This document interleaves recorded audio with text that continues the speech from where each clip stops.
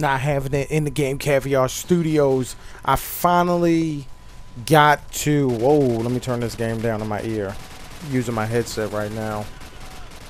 I finally did some live streaming on uh, uh last night with this uh Hauppauge capture. Uh, my past video i was talking about this new program that basically uh, takes the place of the many other programs that I had. Uh, is the match over? Oh, okay. Well, that's it. All right. Not having it in the game, caviar.